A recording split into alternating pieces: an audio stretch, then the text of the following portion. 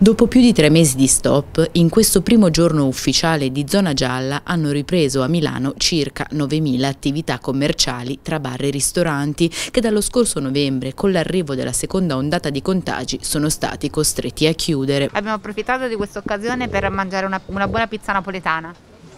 Com'è risedersi finalmente fuori eh, a mangiare qualcosa? Fa strano, sembra una cosa fuori dal, dalle norme, invece era una cosa che prima facevamo di routine, purtroppo adesso ne assaporiamo ancora di più la possibilità. Oggi su Navigli erano tanti i bar e ristoranti pronti alla riapertura con tavolini apparecchiati fuori, grandi menù in vista e soprattutto la scritta aperti a pranzo. Le aspettative non sono rose perché comunque siamo ancora in una fase, in una fase molto molto acuta della pandemia, eh, ma comunque si inizia a vedere una luce in fondo al tunnel, cioè riaprire dopo tre mesi dà un po' di, eh, di, di serenità un po' a tutti noi.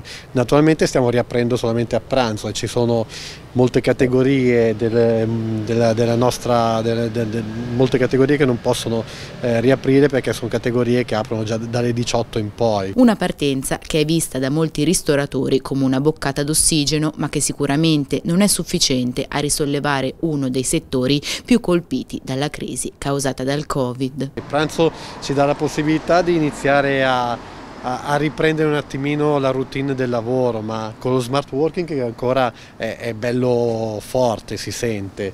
E, mm, naturalmente la gente ancora deve mettere la testa fuori di casa, quindi il pranzo non è abbastanza. Per noi aperture e chiusure mm, è un po' un casino, nel senso che non è tipo, mm, faccio un esempio, un negozio di abbigliamento che apri e chiudi, i vestiti non hanno scadenza mentre noi la preparazione va fatta, i motori vanno accesi, il mangiare se non lo fai fuori va buttato perché alla gente non si può dare.